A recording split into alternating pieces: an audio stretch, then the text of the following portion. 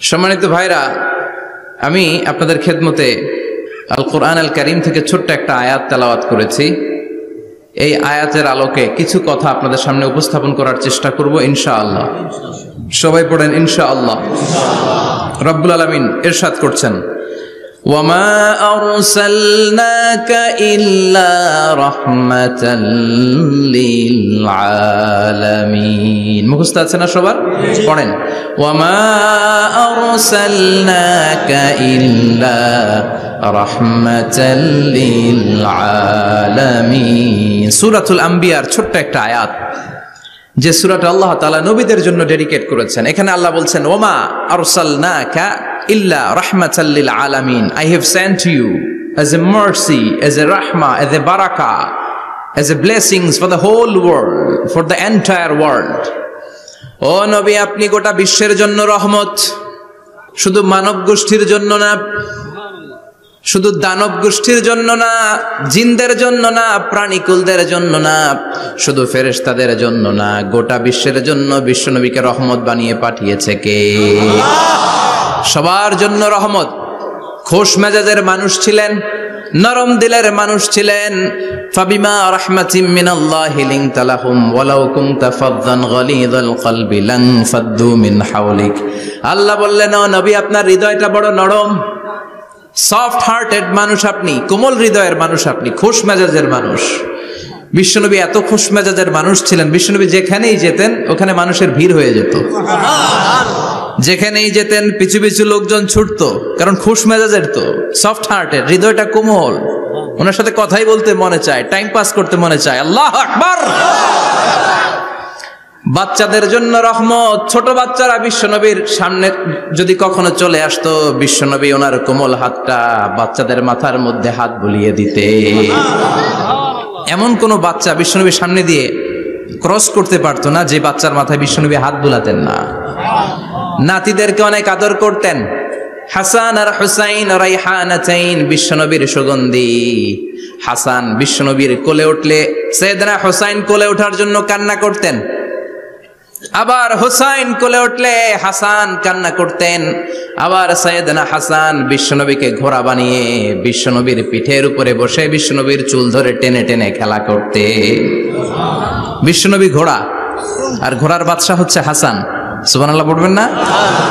কি খুনসুটি, কি সম্পর্ক? স্ত্রীদের সাথে ভালো আচরণ কম্প্যানিয়ন্স যারা আছে, সাথীদের সাথে ভালো আচরণ সবার সাথে ভালো আচরণ, সবার জন্য রহমত। এজন্য আল্লাহ বললেন, ওয়ামা ইল্লা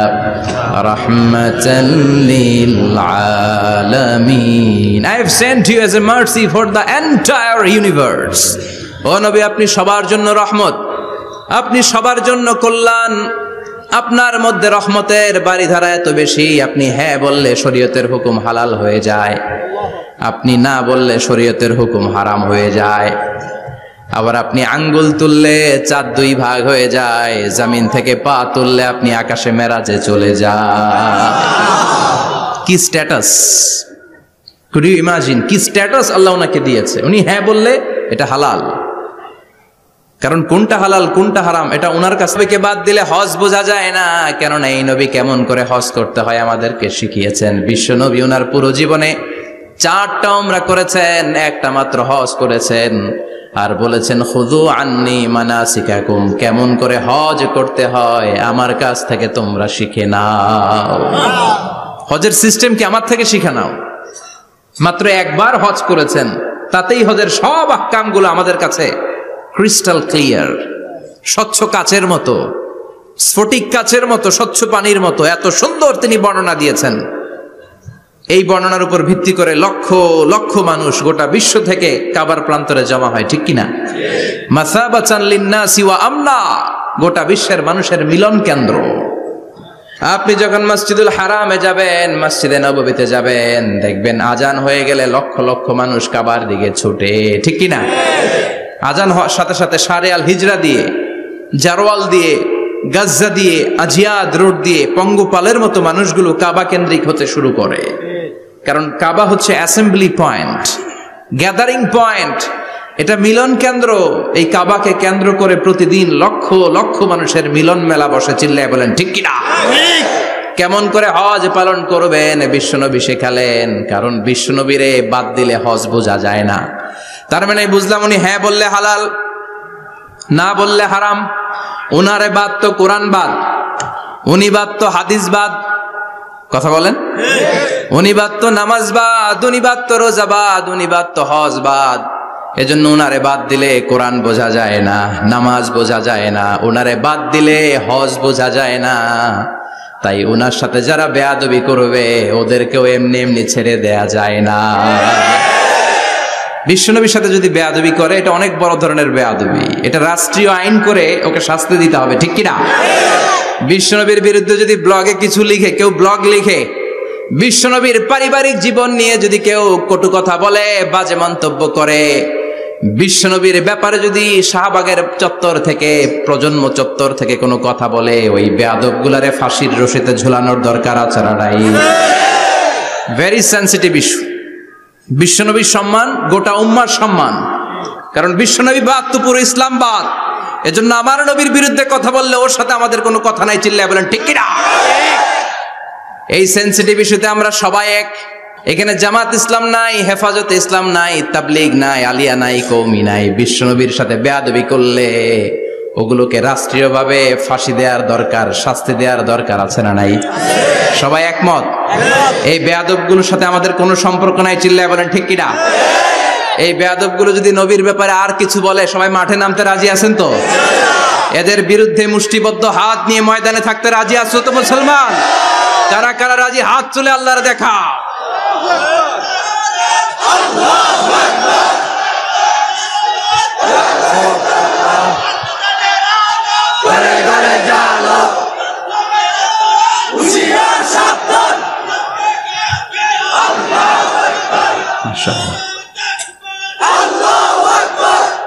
তুমি কবুল করো। বিশ্বনবীর ভালোবাসা যেন আমরা অন্তরে রাখতে পারি, তুমি তৌফিক দাও। বিশ্বনবীর অনুসরণ এবং ভালোবাসা ছাড়া আল্লাহকে পাওয়া যাবে? আল্লাহকে যে পাইতে চায়, হাজরাতের অনুসরণে আর কুরসি লৌহ কালম না চাইতে পেয়েছে সে। হাজরাতের অনুসরণে আর কুরসি লৌহ কালম না চাইতে পেয়েছে সে। সুবহানাল্লাহ পড়েন। এজন্য আল্লাহ বললেন নবী আপনাকে আমি গোটা বিশ্বের মানুষের জন্য রহমত করে পাঠালাম। আবার আপনার চরিত্রটা গোটা বিশ্বের মানুষের জন্য আমি মডেল করে দিলাম। আল্লাহ আকবার।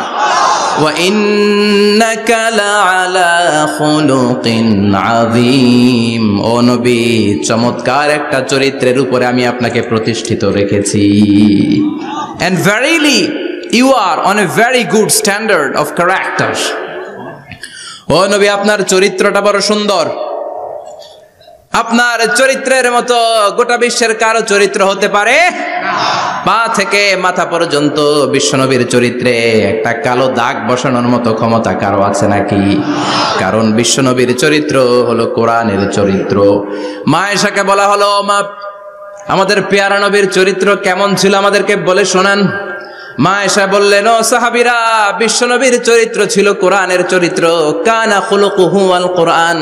বিশ্বনবের চরিত্র ছিল কোরআনের চরিত্র। পুরো কোরআনে তিরিশ পারাতে থিওরিটিক্যালি যা বলে শোনানো হয়েছে। বিশ্বনবীর জীবনীতে চরিত্রে প্র্যাকটিক্যালি ওই সব কিছু করে দেখানো হয়েছে।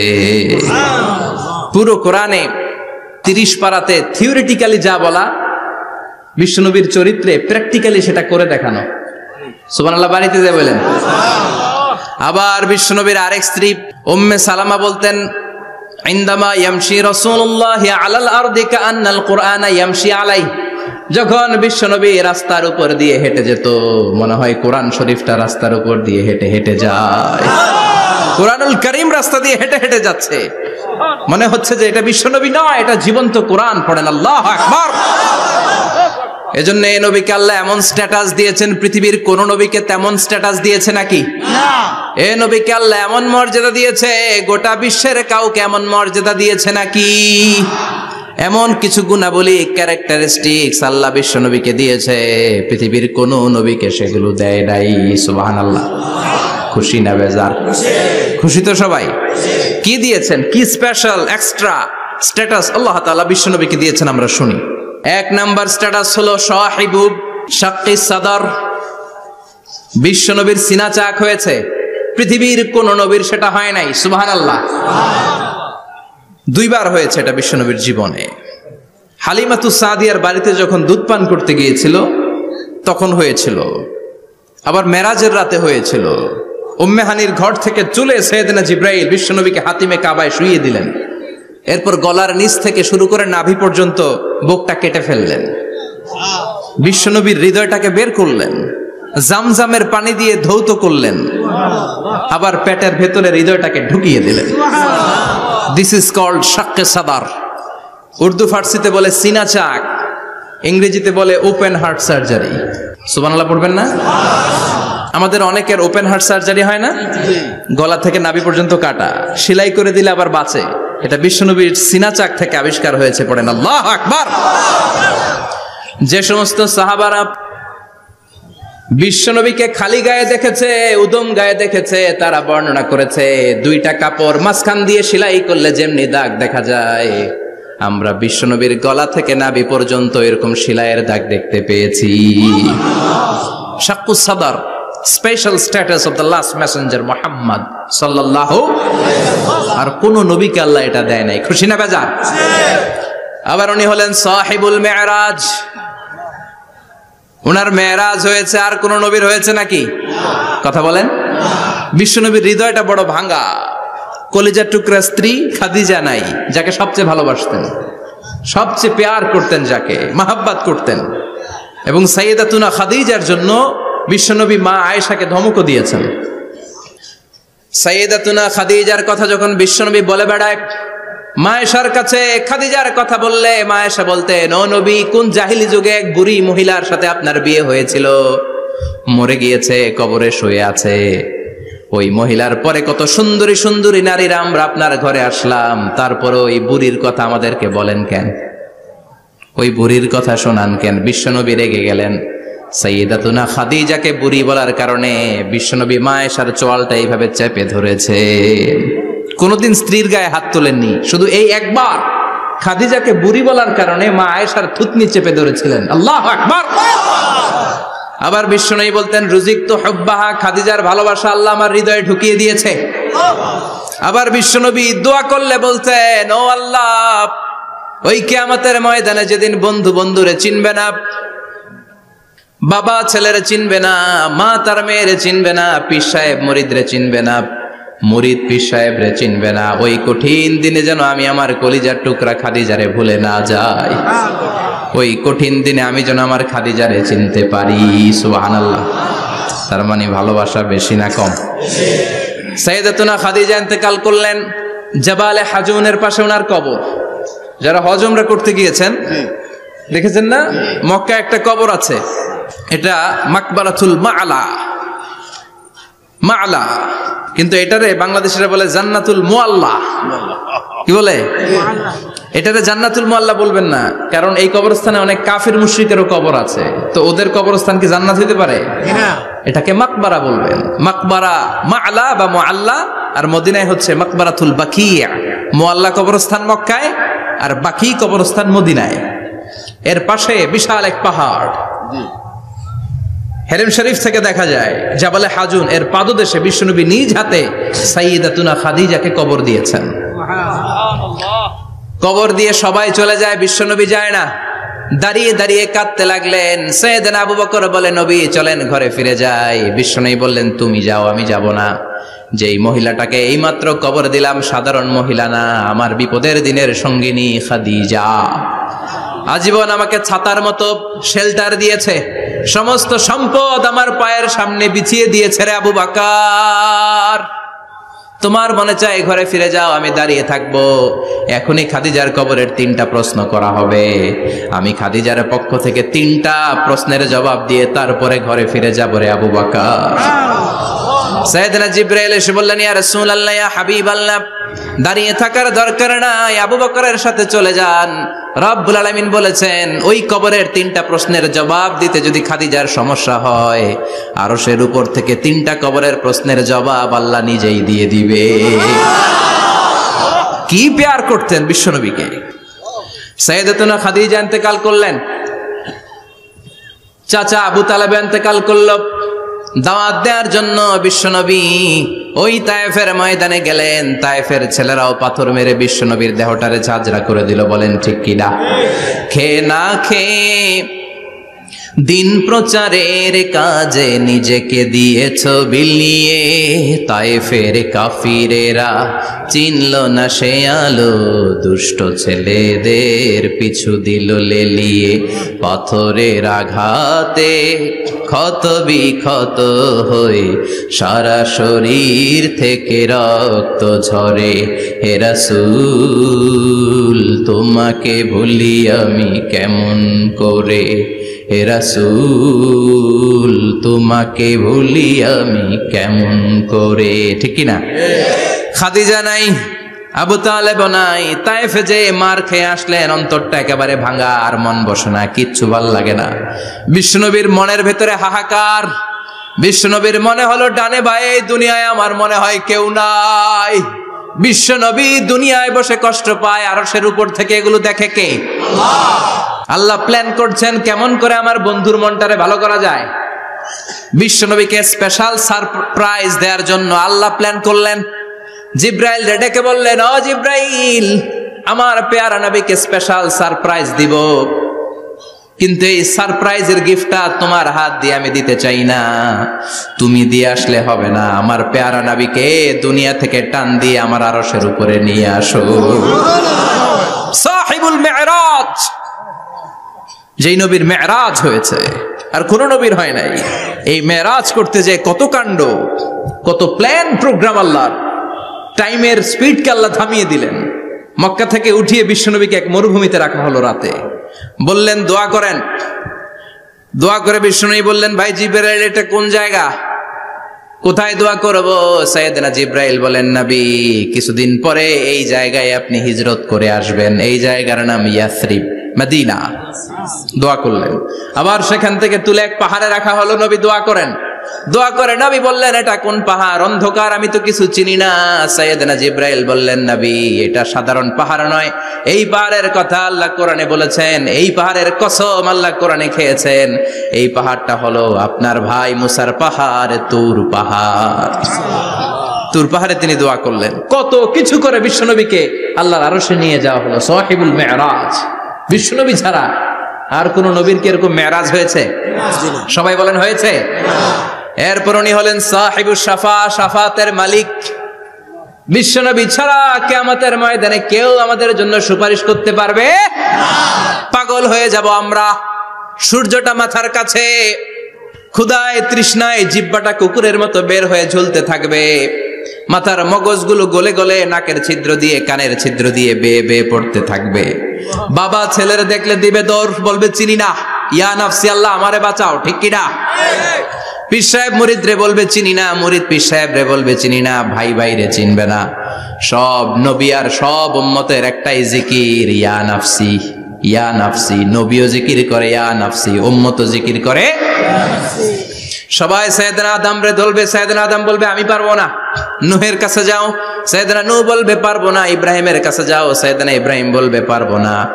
মুসালাই সাল্লামের কাছে যাও। মুসালাই সাল্লাম বলবেন, পারব না। ইসালাই সাল্লামের কাছে যাও। সৈয়দনা ইসালাই সাল্লাম বলে, এত জায়গায় ঘুরা লাভ নাই। জায়গা মতো যাও মিয়া। জায়গা মতো যাও, মাকামে মাহমুদে। বিশ্বনবীকে শেষদায় পড়ে থাকতে দেখবা। ওই নবী ছাড়া আজকের এই ভয়ঙ্কর আমাদের সবার বিপদের দিন। এই বিপদের দিনে আল্লাহর সামনে দাঁড়িয়ে কথা বলার মতো সাহস আজকে কারও নাই। বিশ্বনবী কাঁদতে থাকবেন শেষদায় পরে কাঁদবেন। সবার জিকির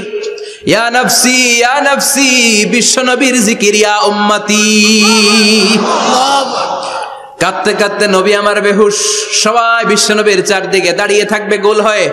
আমার নবী মাকামে মাহমুদে শেষদায় পড়ে থাকবে, বিশ্বনবীর কান্না দেখে আল্লাহর সহ্য হবে না। আল্লাহ বলবে না নবী এরফা রাসাক মাথা উঠান। আর সইতে পারি না সাল তোতা এবার চান কি লাগবে আপনার? সব দেব। ওয়াসফা তুষাফা যার জন্য সুপারিশ করবেন তাকেই জান্নাত দিয়ে দেব। বিশ্বনবী বলেন লিকুল্লি নবীন দাওয়া মুস্তাজাবা। সব নবীর দুনিয়াতে একটা স্পেশাল দোয়া ছিল। এটাকে বলে দাওয়া মুস্তাজাবা। এই দোয়াটা করলেই কবুল করে নিয়েছে কে? সব নবীর ওই দোয়াটা দুনিয়াতেই করেছেন। শুধুমাত্র কেবলমাত্র বিশ্বনবী তার স্পেশাল দোয়াটা আজ পর্যন্ত, এখন পর্যন্ত করে নাই। বিশ্বনবী বলেন, ওয়া ইন্নি আখতাবিউ দাওয়াতি শাফাআতান লি উম্মতি ইয়াউমাল কিয়ামা। আমি আমার দোয়াটা, আমি আমার স্পেশাল সাপ্লিকেশনটা কেয়ামতের দিন কঠিন মুসিবতের কালে তোমরা যখন বিপদে পড়ে যাবা, আমার স্পেশাল দোয়াটা ওই দিন করে আমি তোমাদের সুপারিশ করে জান্নাতে পাঠাইয়া দেব। সাহিবু শাফা। বিশ্বনবী ছাড়া কথা বলার মতো ক্ষমতা, স্পর্ধা, সাহস সেদিন কারও থাকবে না, চিৎকার করে বলেন, ঠিক কিনা আবার উনি সাহিবুল কাউসার। উনি কাউসারের মালিক। আল্লাহ ওনাকে কাউসার দিবেন। অন্য নবীগরও দিছে না? কথা বলেন। কাউসার দিয়েছে? কি মজার পানি। আহলা মিনাল আসাল, মধুর চাইতো মিষ্টি। সুইটার দেন হানি মধুর চাইতো মিষ্টি। আব্রাদু মিনাল সালজ, বরফের চাইতেও ঠান্ডা। আবিয়াদু মিনাল লাবান, দুধের চাইতেও সাদা। এক ঢোক যে পান করবে, আজীবনের জন্য তৃষ্ণা চলে যাবে। সাহিবুল কাউসার! তৃষ্ণার চোটে আমরা পাগল পাড়া হয়ে বিশ্বনবীর কাউসারের দরবারে যাব। বিশ্বনবী পেয়ালার মধ্যে করে করে আমাদেরকে কাউসার পিলাবেন। এই কাউসারের ক্ষমতাও রব্বুল আলমিন পৃথিবীর কোন নবীকে দেন নাই। সব নবীরাও বিশ্বনবীর কাছে চেয়ে চেয়ে কাউসার সেদিন খাবে। সুবহানাল্লাহ পড়বেন না? সাহেবুল কাউসার, সাহেবুল মেহরাজ সাহিবুল শাফা সাহিবুল মকাম আল মাহমুদ। আজানের পরে দোয়াতে বলি না, আতি মুহাম্মাদিনিল ওয়াসিলাতা ওয়াল ফাদিলা। মাহমুদা ও আল্লাহ, আমার নবীর আপনি মাকামে মাহমুদ দেন, মুফাসসিরিন ইকরাম মুহাদ্দিসিন ইকরাম এই মাকামে মাহমুদ কি? এটার ব্যাখ্যা করতে যে হয়রান হয়েছেন। কেউ বলেছেন, কিয়ামতের ময়দানে বিশাল একটা সিংহাসন। কেউ বলেছে, জান্নাতের মধ্যে একটা সিংহাসন। কেউ বলেছে, না না, আমার আল্লাহর আরশের পাশে স্পেশাল একটা জায়গা আছে। ওই জায়গাটার নাম হলো মাকামে মাহমুদ। ওখানে বিশ্ব নবী বসবেন এই নবীর সাথে কারও স্ট্যাটাসের কোনো তুলনা চলে? কথা বলতে হবে। এই নবীরে গালি দিলে কলিজে আগুন লাগে না? এই নবীর বিরুদ্ধে কথা বললে মুসলমান সইতে পারে? এমন স্ট্যাটাস আল্লাহ বানালেন। এত মর্যাদা আল্লাহ দিলেন এত সম্মান দিলেন গোটা বিশ্বের কোন নবীরে দেয় নাই। আবার বিশ্ব নাই বলতেন নসির তুবির রবি মাসিরাতা সাহার আমাকে আল্লাহ ভয় দিয়ে সাহায্য করেছেন, আমি যেই জায়গায় দাঁড়িয়ে থাকি, আমার ডানে বায়ে সামনে পেছনে এক মাসের জায়গা পর্যন্ত কোনো কাফির আমার সামনে আসতে পারে না ভয়। এক মাসের জায়গা পর্যন্ত কোনো কাফির যদি দাঁড়ায় থাকে, বিশ্বনবীর জন্য ভয়ে তার কলিজায় ধুপধুকানি শুরু হয়ে যায়। ধরেন আমি ওনারে ভয় পাই, কাছে আসলেই না ভয়, দূরে গেলে তো আমি পালোয়ান, ঠিক কিনা? উনি আছে কোম্পানিগঞ্জ বাজারের ওইদিকে, আমি এদিকে। আমি পালোয়ান স্বাস্থ্যের সমস্যা নাই, ঠিক কিনা? কারণ কাছে নাই। কিন্তু বিশ্বনবী এমন পাওয়ারফুল ছিলেন, কাছে আর দূরে কোনো কথা না। ডানে বায়ে, সামনে পেছনে এক মাসের দূরত্ব। এই লোকেশনের মধ্যে যদি কোনো কোনো কাফের মুশিকের আন্ডা বাচ্চা থেকে থাকে, বিশ্বনবীর ব্যাপারে ভয় তাদের অন্তরের মধ্যে ঢুকিয়ে দেয় কে? এজন্য বিশ্বনবীর সাথে কারও মর্যাদার কোনো তুলনা চলে। বিশ্বনবী আমাদের মডেল আমাদের মডেল কে? কথা বলেন। সবাই বলেন। আপনাদের মনোযোগ আছে? না গেছে? জিমাই পড়তেছেন মনে হয়? এটা কিন্তু ক্লাস আমি সবসময় বলি আমার আলোচনা ক্লাসের মতো মনে করবেন। Because I consider all the sitting person in front of me beside me as a student আমি যখন কথা বলি সবাইকে আমি স্টুডেন্ট ভাবি। আমাকে শিক্ষক ভাবি। আমার আগে যিনি কথা বলেছেন, তখন উনি ছিলেন আমাদের শিক্ষক। আমার পরে কেউ বললে উনি শিক্ষক, আমরা ছাত্র। ঠিক কিনা? কোরআনের ছাত্র হয়ে বাঁচলেও লাভ, মরলেও লাভ। ঠিক কিনা? হাতি, মরলেও লাখ টাকা। ঠিক কিনা? কোরআনের স্টুডেন্ট বাঁচলেও লাভ। কোরআনের ছাত্র হয়ে মরলেও এজন্য শেষ পর্যন্ত মনোযোগের সাথে কথাগুলো শুনতে হবে, জীবন পরিবর্তন করার জন্য। রাজি আছেন তো? ঘুমে ধরে নাই তো? কষ্ট হলে আমাকে জানাবেন। কষ্ট হচ্ছে না তো? তাকবীর পড়েন, লিল্লাহে তাকবীর। লিল্লাহে তাকবীর। বিশ্বনবী আমাদের মডেল, ঠিক কিনা সবাই একমত? দ্বিমত নাই কেউ? অন্য কেউ আমাদের মডেল নাই? শাহরুখ খান, আমির খান, সালমান খান, হিরো আলম। ব্যাপার কি? হিরো আলমের কথা শুনে এত হাসি কেন? মডেল না সে? কেউ আমাদের মডেল না। আমাদের মডেল হচ্ছে বিশ্বনবী। ঠিক কি না এজন্য আসুন, বিশ্বনবীর জীবনী থেকে কিছু মেসেজ আমরা নেই, কিছু শিক্ষা আমরা নেই, যাতে করে জীবনটাকে এনলাইটেন করা যায়, আলোকিত করা যায়। কিছুদিন আগে নোয়াখালী বিজ্ঞান ও প্রযুক্তি বিশ্ববিদ্যালয়ে আমি দেখে অবাক, সেখানকার যুবকরা ইনিশিয়েটিভ নিয়েছে যে হাজার হাজার ছেলে মেয়েরা ভর্তি পরীক্ষা দিতে আসবে, এদেরকে আমরা ফ্রিতে খাওয়াবো। ফ্রিতে থাকতে দেব। নোয়াখাল্লা করে গালি দিয়েন না। আগে আগে মতো করে দেখান।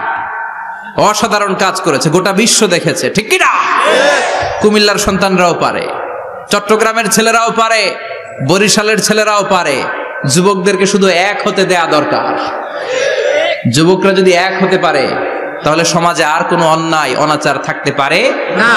বিশ্বনবী যখন যুবক একটা সংগঠন করেছিলেন নাম হালাফুল ফুদুল।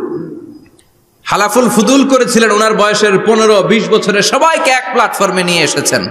হাতে হাত রেখে শপথ করেছেন দে টু ক্যান ওথ কোন টেন্ডারবাজি চলবে না, চাঁদাবাজি চলবে না, মাস্তানি চলবে না, ইফটিজিং চলবে না, মেয়েদের অন্য ধরে টানাটানি চলবে না, খাদ্যে ভেজাল চলবে না, ওজনে কম চলবে না। অন্যায়গুলো সমাজ থেকে দূর করে দিতে হবে, চিৎকার করে বলেন, ঠিক কিনা? এজন্য যুবকরা যদি ইসলাম মানে ভালো থাকবে বাংলাদেশ যুবকরা যদি কোরআন মানে নিরাপদে থাকবে আমার লাল সবুজের পতাকা।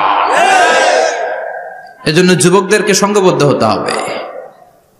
যুবকদের জন্য ইসলাম প্র্যাকটিস করার সুযোগ আমাদের জন্য বাড়াইতে হবে। এজন্য যুবক ভাইয়েরা অলওয়েজ কিপ ফিট এক্সারসাইজ করবা, খেলাধুলা করবা জিমনেশিয়ামে যাবা। কারণ আল মুমিন আল কবি খৈরুম মিনাল মুমিন আদ দাইফ বিষ্ণু বলেছেন শক্তিশালী মুমিন দুর্বল মুমিনের চাইতে আল্লাহর কাছে অনেক বেশি প্রিয়। কারণ আমরা যারা দুর্বল জেহাদের ময়দানে আমরা এক দৌড় দিয়া বেহুশ। ঠিক কিনা? এই যে একাত্তর সালে পাক হানাদার বাহিনীদের সাথে যুদ্ধ করছে কি বুড়া মানুষেরা? না আমার দামাল ছেলেরা যুবক ভাইয়েরা। বিশ্বনবী সাহা ইসলাম অলওয়েজ ফিট থাকতেন। আমরা শুনছিলাম উনি দেখতে কেমন ছিলেন সিক্স প্যাক ছিলেন। কি ছিলেন? সিক্স প্যাক সিক্স প্যাক বুঝুন তো? এখানে ছয়টা প্যাক থাকে মুরব্বীরা কয় না বুঝি না। আচ্ছা। ছয়টা প্যাক মানে খুবই স্ট্রং খুবই স্ট্রং ছিলেন সুবহানাল্লাহ পড়েন। ওয়াকানা কাফুহু আলিয়ানু মিনাদ দিবাজ। বিষ্ণুবীর হাত এই হাতের তালু রেশমের কাপড়ের চেয়েও বেশি সফট ছিল। Softer than silk softer than silk সিল্কের চাইতেও বেশি সফট সিল্কের কাপড় চিনেন না? জর্জেটের কাপড়। ধরতে কোমল লাগে মোলায়েম লাগে বিশ্বনবীর হাতের তালু এর চাইতেও মোলায়েম। এই জন্য এই মোলায়েম হাত যদি কেউ মুসাফা করার সুযোগ পাইতো কেউ আর হাত ছাড়তে চাইতো না। আর বিশ্বনবীর অভ্যাস ছিলেন বিশ্বনবী কারোর সাথে মুসাফা করলে যার সাথে মুসাফা করেছেন উনি হাত টেনে না নিলে বিশ্বনবী ওনার হাত টেনে নিতেন না। আল্লাহ আকবার পড়বেন না? কি অসাধারণ ব্যক্তিত্ব ছিল হাতের তালু ছিল সফটওয়্যার দেন সিল্ক وكان ربعة من القوم ليس بالطويل ولا بالقصير বিশ্বনবী দেখতে একজন মাঝারি গড়নের লোক ছিলেন খুব লম্বাও না খুব খাটোও না খুব বেশি লম্বাদেরকে ভাল লাগে কথা বলেন তাকাইতে গেলে টুপি পরে যাওয়ার সম্ভাবনা আছে খুব খাটো যারা এদেরকেও কিন্তু দেখতে অতটা ভাল লাগে না বিষ্ণুনবী ছিলেন ব্যালেন্সড মাঝারি ধরনের। ওলা বিল কসির। কীভাবে আল্লাহ চুজ করেছেন ওনার পেয়ারা হাবিবকে পড়েন? ওয়াকানা আজহার আল্লাউন ফর্সা রঙের মানুষ ছিলেন। Bright colour. কি কালার? Bright colour. সিভি যারা লিখেন, কারিকুলাম ভিটা, ওইখানে স্কিন কালার লিখতে হয়। আপনি কি ফর্সা না কালো? কালো হলে ব্ল্যাক কালার, ফর্সা হলে ব্রাইট কালার। বিষ্ণুনবী ছিল ব্রাইট কালার। ফর্সা রঙের মানুষ। কতটা সুন্দর ছিলেন? অনেকে বলে সৈয়দানা ইউসুফ আলাই সাল্লাম বেশি সুন্দর। না না। বিশ্বনবী সৈয়দানা ইউসুফ আলাই সাল্লামের চেয়ে অনেক গুণ বেশি সুন্দর ছিলে। বিশ্বনবী বলতে না না মালিহুন ওয়া আখি ইউসুফু সাবিহুন। আমি বিশ্বনবী মালিহ। আলেম যারা আছেন উত্তর দেন। আরবিতে মিলহুন মানে কি? লবণ। তার মানে মালিহ মানে লাবণ্যময়। বিশ্বনবী লাবণ্যময় সুন্দর ছিলেন, আর ইউসুফ আলাই সাল্লাম সাদা সুন্দর ছিলেন। এদিকে লাবণ্যময়, এদিকে সাদা, কোনটা ভালো লাগবে? কথা কন। তার মানে বিশ্বনবীর গায়ের স্কিন ছিল ব্রাইট কালার, ফর্সা রঙের মানুষ ছিলেন, মাঝারি সাইজের মানুষ ছিলেন সিক্স প্যাকের মানুষ ছিলেন। ওয়াকুবিদা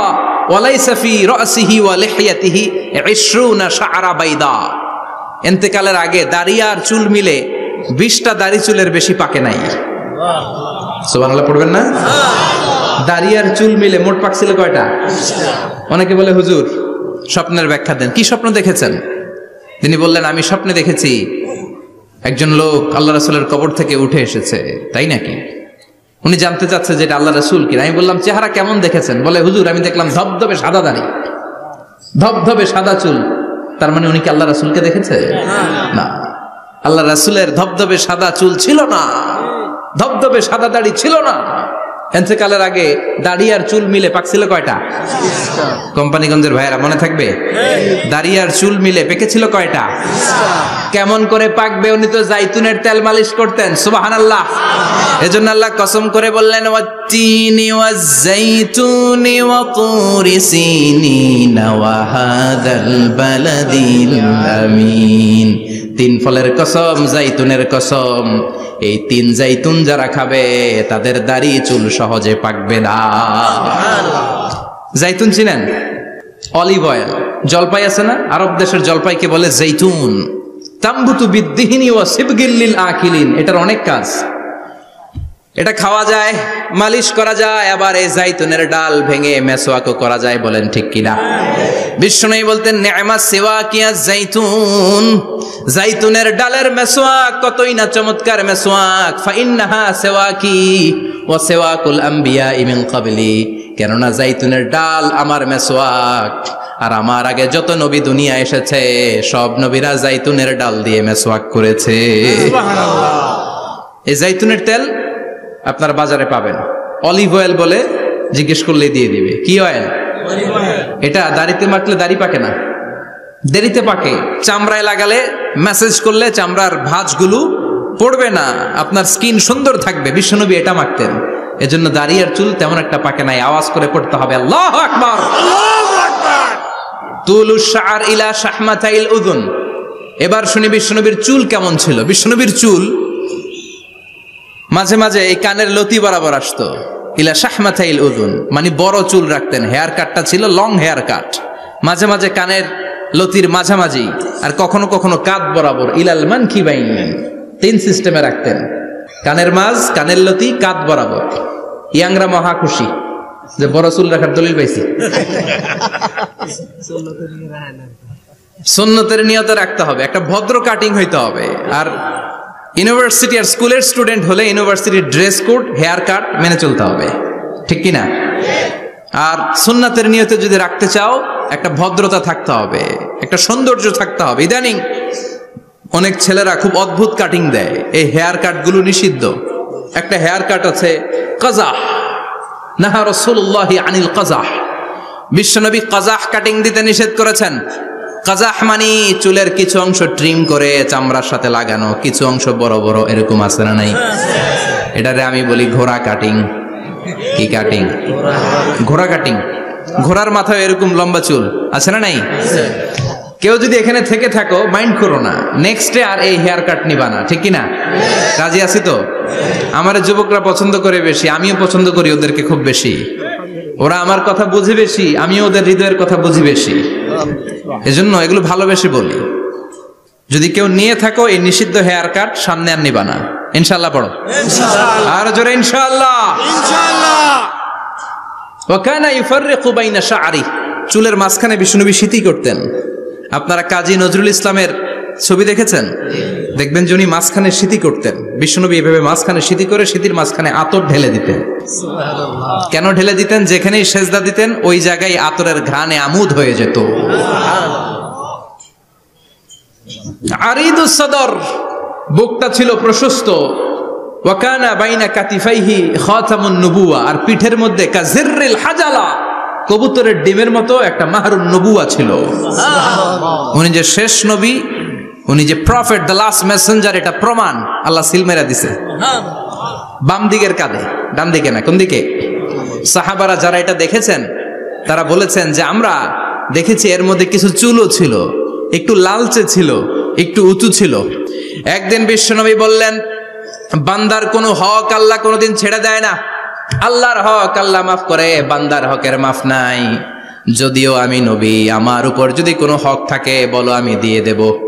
কোন সাহাবি দাঁড়ায় না, এক সাহাবি দাঁড়িয়ে বলল, নবী, যুদ্ধের ময়দানে চাবুক চালানোর সময়, লাঠি চালানোর সময় এক কাফেরকে মারতে যে আপনার লাঠির বাড়ি আমার পিঠের মধ্যে পড়েছে।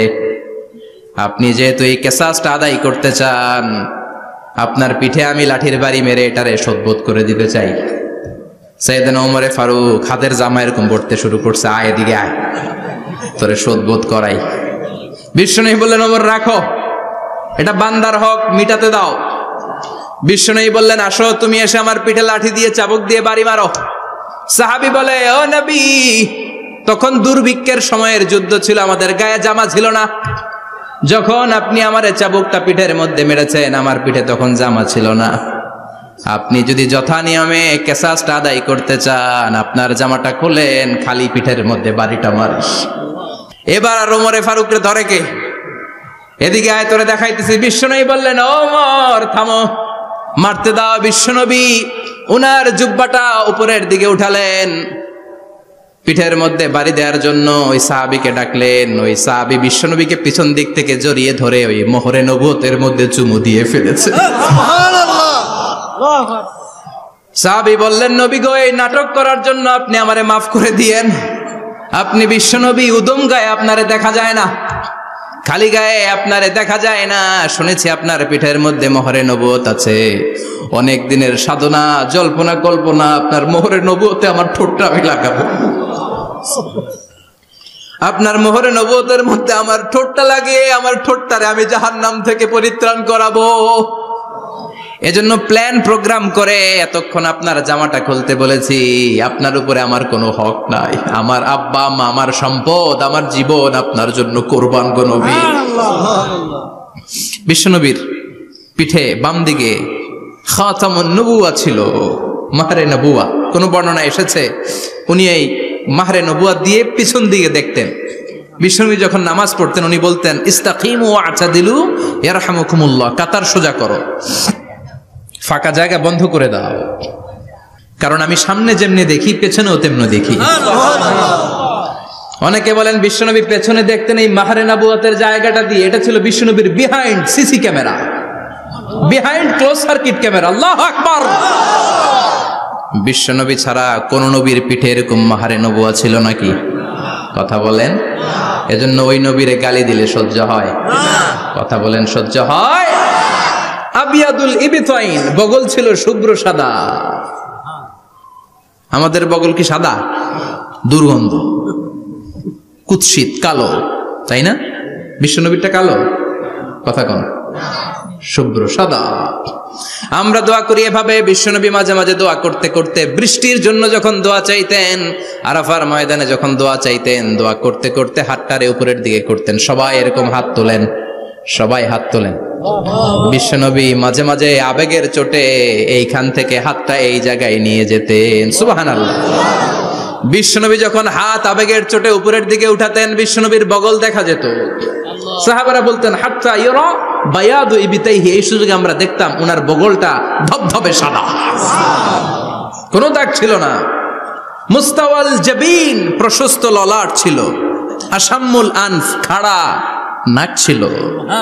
বিষ্ণুবীর নাক কিন্তু বোচা ছিল না। এরকম চ্যাপটা নাকরে আপনারা কোম্পানিগঞ্জে কি বলেন? সাকমা। কি নাক? হ্যাঁ? বুসা নাক বুসা বা বোচা। বিষ্ণুনবীর নাক। এই চাকমা স্টাইলে নাক ছিল না। খাড়া ছিল। খাড়া নাক ছিল। সোবানাল্লাহ পড়ো। মুফাল্লিজুল আসনান দাঁতগুলো ছিল পরিপাটি। বিশ্বনবীর দাঁতের দিকে তাকালে বিশ্বনবীর হাসির দিকে তাকালে মনে হতো হাসিতে যেন মুক্তা ঝরে। বিশ্বনবী দেখতে কেমন ছিল? আন্দাজ পাচ্ছেন না মোটামুটি? এই চমৎকার দেহটা নিয়ে যখন আয়নার সামনে দাঁড়াতেন বিশ্বনবী জোস জোস পোজ দিতেন না। এখনকার ছেলেপেলেরা বলে আয়নার সামনে দাঁড়াইয়া দেই জোস জোস পোজ। আছে না নাই? বিশ্বনবী জোস জোস পোজ দিতেন না। বিশ্বনবী আয়নার সামনে দাঁড়িয়ে বলতেন আল্লাহ হাসান খালকি ফাহসিন খুলুকি। ও আল্লাহ, আমার চেহারাটা যেমনি আপনি সুন্দর বানিয়েছেন, আমার হৃদয়টারেও সুন্দর করে দেয়। হোয়াট অ্যান অ্যাটিটিউড কি অ্যাটিটিউড ছিল ওনার আমরা আয়নার সামনে সেজে পড়ে দাঁড়ালে চুলকে সাইজ করি, পাং করি। স্টাইল করে ডিজাইন করি, বিশ্বনবী সুন্দর চেহারাটা নিয়ে যখন আয়নার সামনে দাঁড়াতেন বলতেন, আল্লাহ, আমার চেহারাটা যেমনি সাদা, হৃদয়টারও সাদা করে দেন। কিছু মানুষ আছে, চেহারা সাদা, হৃদয় কালো আছে না নাই? অনেক।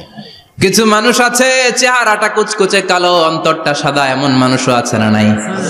বিশ্বনবীর ভেতরও সাদা বাহিরও সাদা সুবাহান আল্লাহ আর এই সুন্দর সাদা দেহ নিয়ে আয়নায় দাঁড়িয়ে পড়তেন আল্লাহ চেহারা যেমনি সুন্দর চরিত্রটাও সুন্দর করে দেয় এজন্য আয়নার সামনে দাঁড়িয়ে এই দোয়ার দরকার আছে না নাই? পড়তে রাজি আছেন? মনে থাকবে? না মাহফিল শেষ ভুলে যাবেন? মনে থাকবে? আয়নার সামনে আপনি যখন দাঁড়াবেন আপনার স্ত্রী যখন দাঁড়াবে আপনার বাচ্চারা যখন দাঁড়াবে বলে দিবেন বাবা আয়নার সামনে দাঁড়ানোর দোয়া পড়ো। কত অসাধারণ দোয়া। পড়েন আওয়াজ করে আমার সাথে আল্লাহ হোম্মা হাসান তাকালকি ফাহসিন খুলুকি আল্লাহ হোম্মা হাসান তাকালকি ফাহসিন খুলুকি এর মানে আল্লাহ আমার চেহারাটা করেছ সুন্দর আমার আচরণ আমার চরিত্রটাও সুন্দর করে দাও চিৎকার করে পড়েন আমি তাহলে বিশ্বনবীর ব্যাপারে তিনটা কথা আমরা শুনব বলেছিলাম, প্রথমটা শুনে ফেলেছি। মানে উনি দেখতে কেমন ছিল? উনি দেখতে কেমন ছিল এর মধ্যে আমাদের আমলের কিছু নাই। শুধু বর্ণনা করা আর শোনা, আর বিশ্বনবীকে ভালোবাসা, ঠিক কিনা?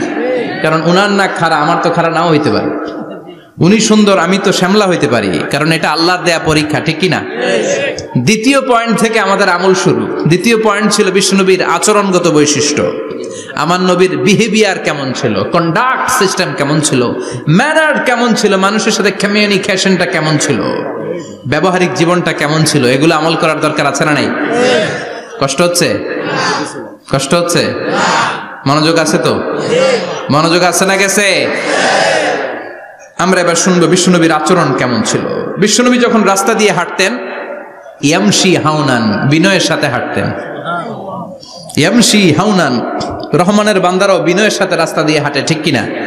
وعباد الرحمن الذين يمشون على الأرض هونا وإذا خاطبهم الجاهلون قالوا سلاما রহমানের বান্দারা যখন রাস্তা দিয়ে হাঁটে বিনয়ের সাথে হাঁটে তারা অহংকার প্রদর্শন করে না মানুষের সাথে বিনয়ের সাথে রাস্তা দিয়ে হাঁটে।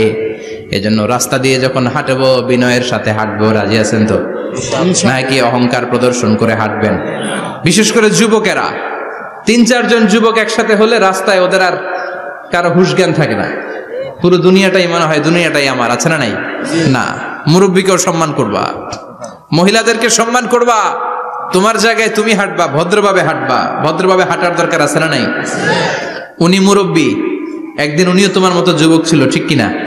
এই যে আমার কালো দাড়ি আজীবন কালো থাকবে? কথা বলেন। উনার সাদা দাড়ি ছোটবেলায় মনে হয় সাদা দাড়ি নিয়ে আসছিল না? হ্যাঁ? উনিও একদিন তাগড়া যুবক ছিল। উনিও কোম্পানিগঞ্জ বাজারে দাঁড়ালে লোকজন তাকিয়ে থাকতো। ঠিক কিনা? তার মানে রং ধরা যৌবন জং ধরে শেষ।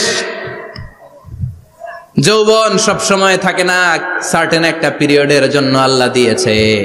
এজন্য যুবক ভাইরা, তোমাদের রক্ত গরম, তোমাদেরকে বিনয়ী হতে হবে বেশি, ঠিক কি না রাজি আছো তো সবাই?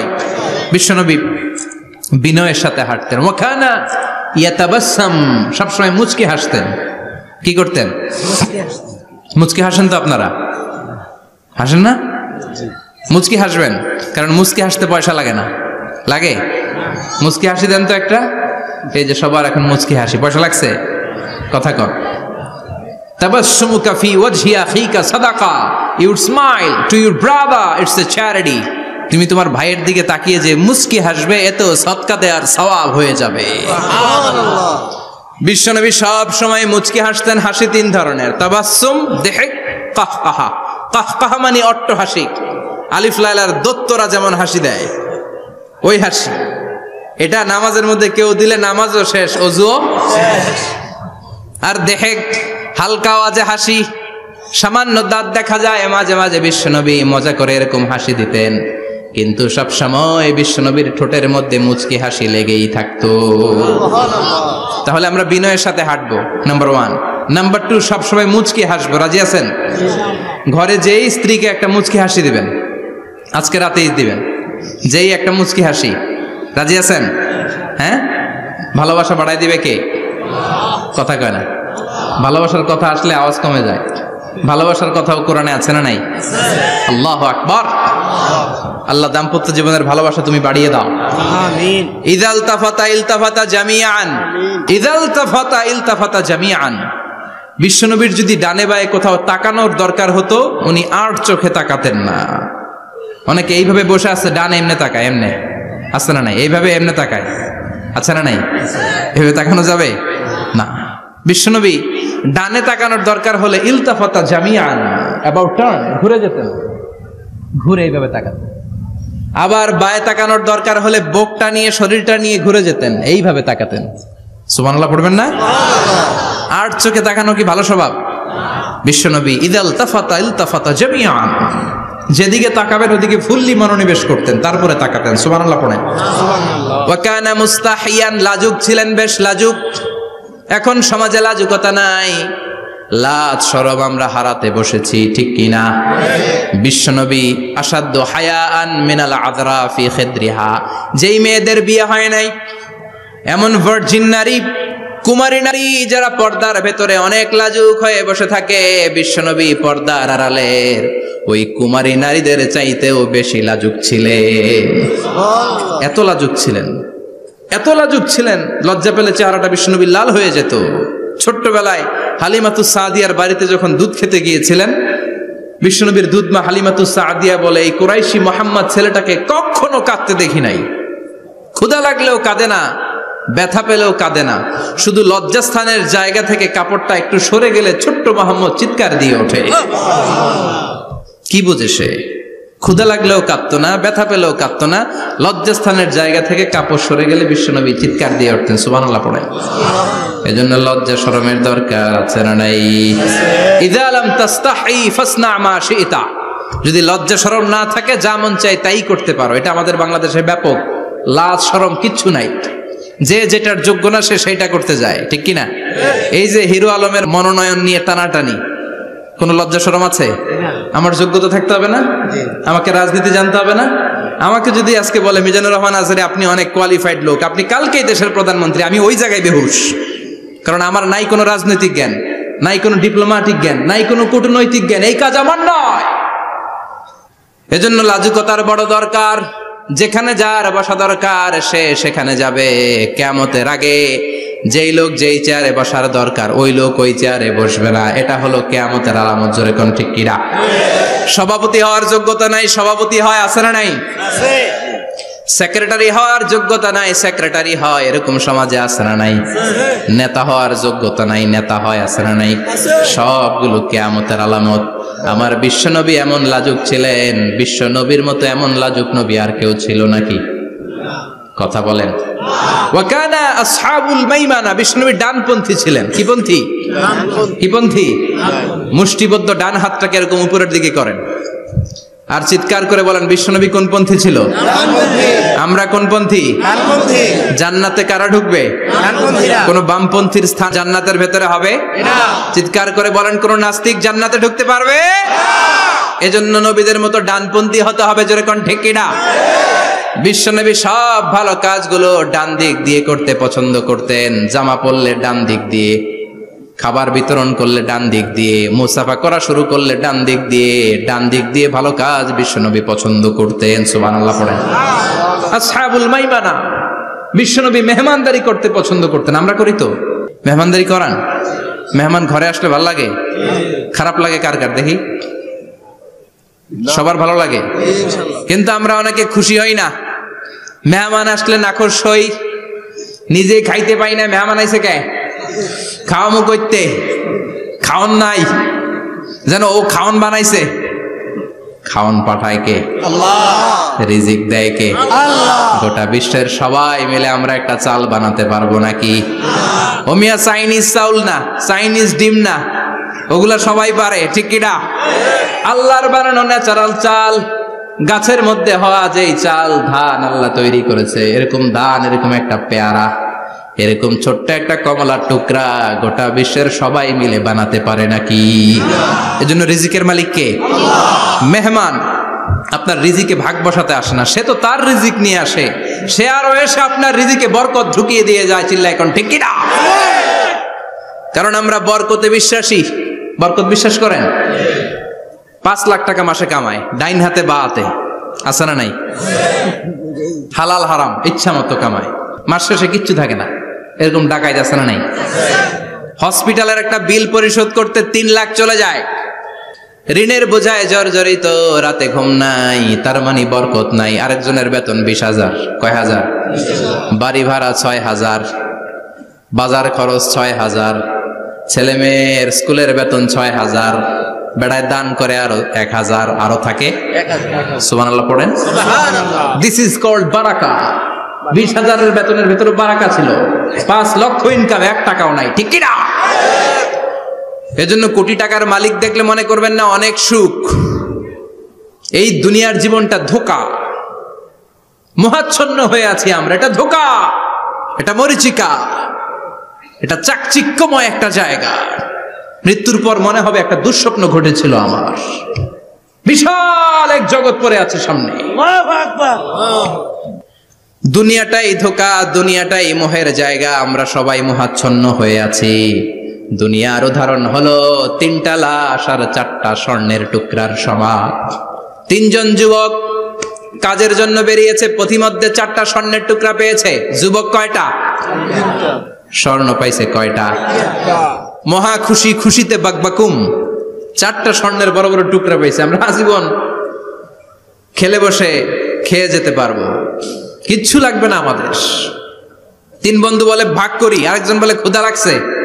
একজন যা বাজার থেকে রুটি কিনে নিয়ে আয়, খাওয়ার পরে ভাগ করব। একজন রুটি কিনতে গেল, শয়তান দুইটারে বুঝায়, ওইটারে মারতে পারলে ভাগ বটোয়ারা সহজ হবে। তোরা দুইজন স্বর্ণ চারটা, তুই নিবি দুইটা, ও নিবে দুইটা। হিসাব সহজ না? দুই বন্ধু প্ল্যান করছে, ওইটারে মাইরা তুই দুইটা, আমি দুইটা। যেটা রুটি আনতে গেছে প্ল্যান করেছে, রুটির মধ্যে বিষ মিশায় নেই। কি মিশাবো? বিষ। তাহলে বিষ খাওয়া রুটি খেয়ে ওই দুইটা সে সব পাবে আমি পাবো। ভাগাভাগের কিছু নাই, সব যাবে আমার কাছে। চারটা স্বর্ণের টুকরার মালিক আমি। রুটির মধ্যে বিষ মেখে নিয়ে এসেছে। ওই দুই বন্ধু প্ল্যান অনুযায়ী ওইটারে ধরে মেরে ফেলছে। এবার মহা খুশি এক বন্ধু কয়, এবার তো ভাগ বটর, আর কিছু নাই। তুই দুইটা, আমি দুইটা, আগে খাইয়া লইস আগে? খাওয়ার পরে এই দুইটাও নাই। তিনটা লাশ, চারটা স্বর্ণের টুকরা, এটাই তো দুনিয়ার জীবন, ঠিক কিনা? আসল জীবন কবর থেকে শুরু হবে কোন, ঠিক কিনা? একদিন মাটির ভেতরে হবে ঘরে মোনামার কেন বাঁধো দালান ঘরে মোনামার কেন বাঁধো দালান ঘর? ঠিক কিনা?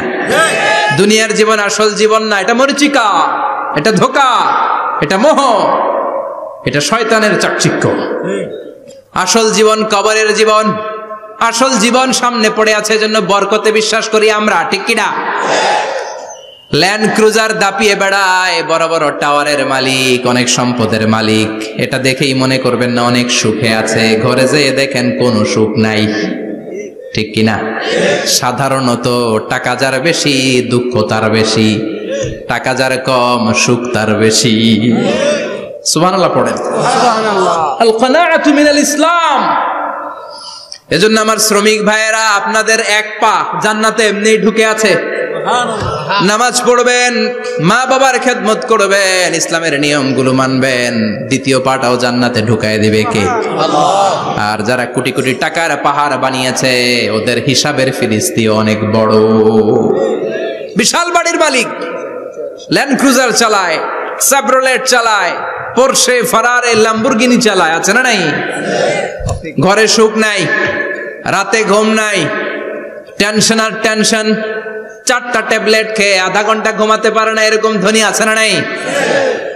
সব ধনীরা আবার এক পাল্লায় মাইপেন না। মাথার গাম পায়ে ফেলে যেই ধনী ব্যবসায়ীরা বড় লোক হয়েছে, ওদের ঘরে ঠিকই শান্তি আছে। তার মানে টাকা যার বেশি, ওষুধ তার বেশি, কিচ্ছু খেতে পারে না।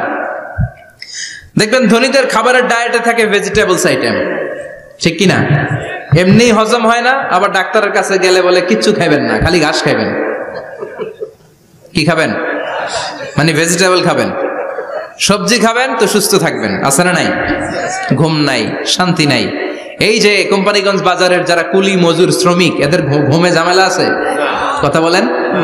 ধনী, পয়সাওয়ালা, কোটিপতি, সে ঘুমের ট্যাবলেট খায়। ঘুমের জন্য যে ট্যাবলেট লাগে, রিক্সাওয়ালা ওইটাই জানে না। ঠিক কিনা?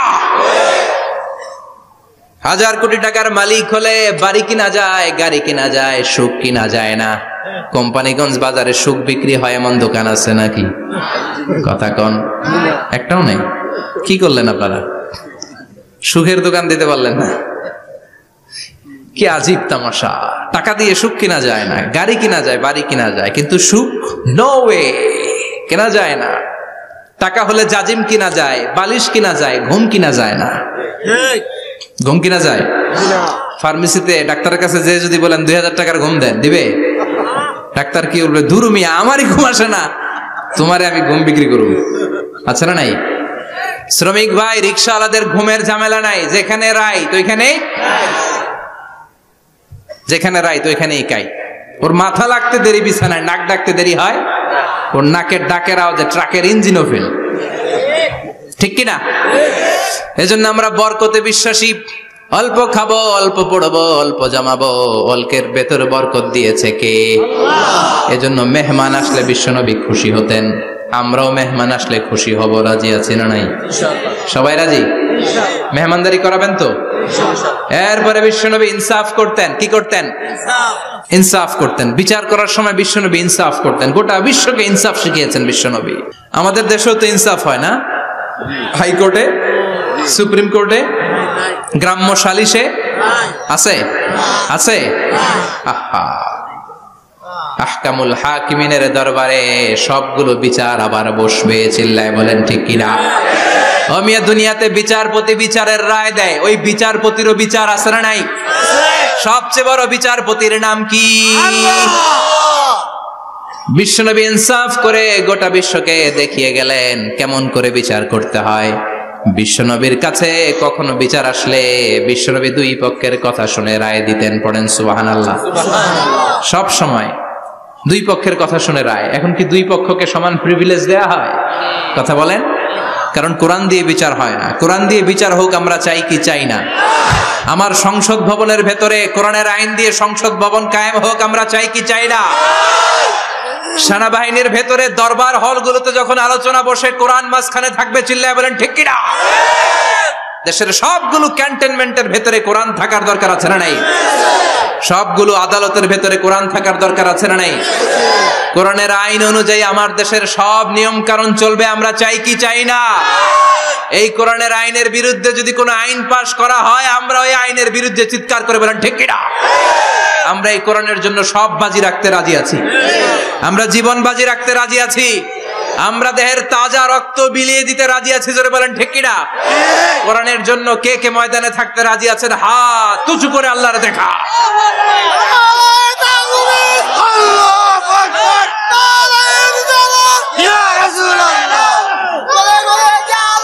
ইসলামের শত্রুরা। ইসলামের শত্রুরা। আল্লাহু আকবার। আল্লাহ কোরআনের জন্য যে ভালোবাসাটাকে তুমি কবুল করো। আমরা যেন দেখে যেতে পারি যে এই দেশে কালেমার পতাকা পতপত করে উড়েছে। আমরা যারা ইসলামের পক্ষে এটাই আমাদের অপরাধ, আমরা ইসলামকে একটা বিজয়ী শক্তি হিসেবে দেখতে চাই। আমরা ইসলামকে পার্লামেন্টের ভেতরে দেখতে চাই। আমরা কালিমার পতাকা পতপত করে উঠছে এটা দেখে যেতে মরতে চাই, চিল্লায় বলেন, ঠিক কিনা? বিশ্বনবী ইনসাফ শিখালেন, বিচার আসলে দুই পক্ষের কথা শুনতেন। বিশ্বনবীর স্ত্রী সাওদা এসে বলে, নবী, আমি আপনার কুমারী বউ আয়েশার ঘরে তরকারি নিয়ে গিয়েছিলাম, ঝোল নিয়ে গিয়েছিলাম, কোন বর্ণনায় পায়েস নিয়ে গিয়েছিলাম। তরকারি দেওয়ার পরে আপনার স্ত্রী রেগে বলে, তরকারি দিলা কেন? আমি কি তরকারি রাঁধতে পারি না? আনলা কেন? রাগের চোটে তরকারির ঝোল নিয়ে পায়েস নিয়ে আমার গালের মধ্যে মাখিয়ে দিয়েছে আপনার বউ। আপনি তো শ্রেষ্ঠ বিচারক কোন বিচার করে দেন। দুই বউয়ের মধ্যে ঝগড়া আছে না নাই? বিশ্বনবী সাউদার কথা শুনলেন, মা আয়েশাকে ডেকে পাঠালেন। মা আয়েশারে বললেন, ও আয়েশা, আসলে এমনটা করেছ নাকি? মা এসে বলে, নবী, তখন আমার মেজাজটা বড্ড গরম ছিল রাগের মাথায়। ঝোল নিয়ে আমি সাউদার মুখে লাগিয়ে দিয়েছি, আসলে কাজটা ঠিক হয় নাই, আমারে ক্ষমা করেন। বিশ্বনবী দুইজনের কথা শুনে ঠান্ডা হয়ে বসলেন সুবাহান আল্লাহ একজনের কথা শুনে রায় দেয় নাই, ঠিক কিনা? দুইজনের কথা শুনে বিশ্বনবী বললেন, আমার আদালতের রায় হচ্ছে টিট ট্যাট। যেমন করেছ তেমন, ঘুষি মারলে ঘুষি, গুতা মারলে গুতা, ঠেলা মারলে ঠেলা। আছে না নাই? সাউদাকে যেমনি তুমি পায়েস মাখিয়ে দিয়েছ সাউদাও পায়েসের বাটি থেকে কিছু পায়েস নিয়ে আয়েশার গালে মাখো। সুবহানাল্লাহ, পড়েন। সাউদাও বিশ্বনবীর রায় অনুযায়ী বাটি থেকে পায়েসের ঝোল নিয়ে মা আয়েশার গালের মধ্যে মেখে দিলেন। মা আয়েশা কি আর করবেন? হেসে দিলেন। সৈয়দাতুনা সাউদাও হাসলেন। বিশ্বনবীও হাসলেন। আরশের উপর থেকে খুশি হয়ে গেল কে? এজন্য কোরআন দিয়ে যদি কোরআনের নিয়ম দিয়ে যদি বিশ্বনবীর শেখানো পন্থায় যদি বিচার হয় ওই বিচারের মধ্যে ইনসাফ থাকবে জুলুম থাকবে না। ওই বিচারের মধ্যে কোনো স্কাইপি কেলেঙ্কারি হবে না। আমাদের টেলিফোনের ফোনালা ফাঁস হয়ে যায় স্কাইপি ফাঁস হয়ে যায়, অনেক ঝামেলা হয়ে যায় আসে না নাই? এরপরেও জনগণের চোখ খোলে না। আল্লাহ তুমি চোখ খোলার তৌফিক দাও।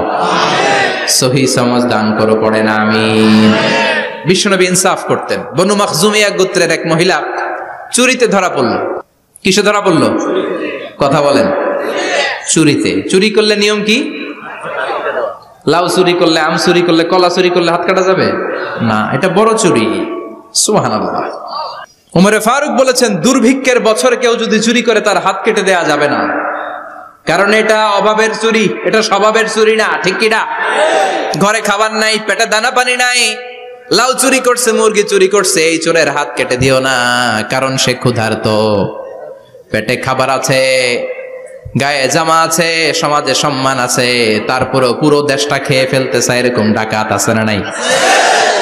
দেশের টাকা পাচার করে ব্ল্যাক মানি করে, এরকম ডাকাত আছে না নাই? ঘুষ খেতে খেতে পেটটা এরকম হাতির মতো মোটা করেছে, এরকম ডাকাত আছে না নাই? দেশের সবকিছু লুণ্ঠন করে, এরকম আছে না নাই?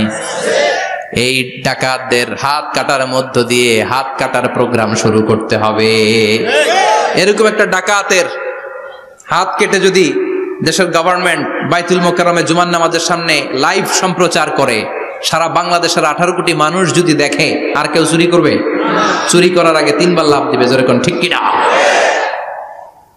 বনু মখজুমিয়া গোত্রের এক নারী চুরিতে ধরা পড়ল। ভেরি প্রেস্টিজিয়াস এন্ড ডিগনিফাইড ফ্যামিলির মেয়ে। এলাকায় সম্ভ্রান্ত কিছু ফ্যামিলি থাকে না? এরকম বড় ফ্যামিলির মেয়ে। সব সাহাবারা বলল, এখন যদি নবী হাত কেটে দেয় মদিনাতে তো মারামারি হবে। ওসামা বিন জায়দকে বলল, Osama,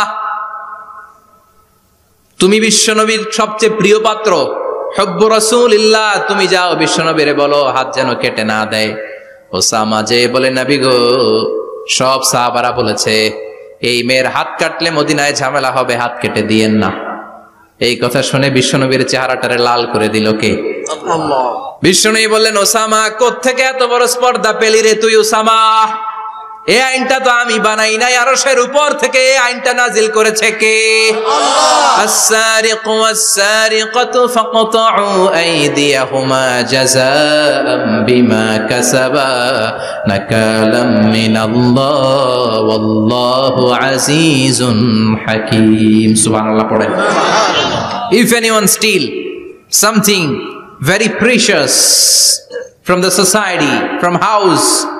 the government should cut down his right hand. দামি কিছু চুরি করলে গভর্নমেন্ট কাটবে, আমরা কাটতে পারব? এটা সরকারের কাজ। সরকার ডান হাত কেটে দিবে। ওসামা, এটা আল্লাহর আইন। কেমন করে আল্লাহর আইনে তুমি সুপারিশ করতে আসো? কোন বানু মখজুমিয়া গোত্রের মেয়ে? ওই মেয়ে তো দূরের কথা, আমার কলিজার টুকরা ফাতেমাও যদি চুরি করে, আমি রামদা নিয়ে ফাতেমার ডান হাতটা এক কোপ দিয়ে কেটে দিতে এক মুহূর্ত দেরি করব না রে ওসামা। জাস্টিস ইনসাফ শিখে না কেমন করে প্রতিষ্ঠা করেছে বিশ্বনবী, চিৎকার করে বলেন, ঠিক কিনা? এগুলো হচ্ছে বিশ্বনবীর অভ্যাস। আচরণ। বিশ্বনবী ধীরস্থির ভাবে কথা বলতেন। তাড়াহুড়ো করতেন না। সাহাবারা বলতেন, বিশ্বনবী যখন কথা বলতেন, প্রতিটা শব্দ আলাদা করা যেত। প্রতিটা অক্ষর আলাদা করা যেত। আল্লাহ আকবার। আবার জরুরি কোনো কথা যখন বিশ্বনবী বলতেন ওইটাকে তিনবার বিশ্বনবী রিপিট করতেন। কয়বার? তিনবার। কারণ জরুরি। কারণ কি? যেন না ভুলে যায়। ভুল যেন না হয় তিনবার বলতেন। বিশ্বনবী একবার তাকোয়া নিয়ে ওয়াজ করতেছিলেন আর বলছিলেন আর তাকোয়া হা হুনা হা হুনা হা হুনা। তাকোয়া এইখানে এইখানে এইখানে কয়বার বললেন? কারণ তাকোয়ার ওয়াজ কি? কম গুরুত্বপূর্ণ নাকি বেশি গুরুত্বপূর্ণ? তাকোয়া মানে কার ভয়? যাদের হৃদয়ে আছে আল্লাহর ভয়, তারা কবু পথ ভুলে যায় না। আল্লাহর প্রেম ছাড়া এই দুনিয়ায় কারও কাছে কোনো কিছু চায় না। ঠিক কি না? যাদের হৃদয়ে আছে আল্লাহর ভয় তারা কবু পথ ভুলে যায় না। আল্লাহর প্রেম ছাড়াই দুনিয়ায় কারও কাছে কোনো কিছু চায় না। রাতের আধারে যারা সেজ দাতে রয়, দু চোখের শ্রুতে নদী যেন বয়। রাতের আধারে যারা সেজ দাতে রয়, দু চোখের শ্রুতে নদী যেন বয়। ছলনার হাছানি যতই ডাকুক, ছলনার হাছানি যতই ডাকুক, পেছনে ফিরেও সে তাকায় না। যাদের হৃদয়ে আছে আল্লাহর ভয়, তারা কবু পথ ভুলে যায় না। আল্লাহর প্রেম ছাড়া এই দুনিয়া কারও কাছে কোনো কিছু চায় না। চিৎকার করে বলেন, ঠিক কিনা তাকুয়ার ওয়াজ করলেন তাকুয়া মানে আল্লাহর ভয়। বিষ্ণুই বললেন তাকুয়া হা হুনা তাকুয়া হা হুনা তাকুয়া হা হুনা তাকুয়া এই জায়গায় তাকুয়া এই জায়গায় তাকুয়া এই জায়গায়। যেহেতু এটা গুরুত্বপূর্ণ বিষ্ণুনবী তিনবার ইঙ্গিত করে বলেছেন সুবাহান বিষ্ণুনবী বলেন, না তাকুয়া হা হুনা তাকুয়া এইটা। বলেন, না তাকুয়া হা হুনা তাকুয়া এইটা। বলেন, না তাকুয়া হা হুনা তাকুয়া এইটা। জুব্বায় তাকোয়া দাড়িতে তাকোয়া টুপিতে তাকোয়া বলে নাই। তাকোয়ার আসল জায়গা হলো হৃদয়।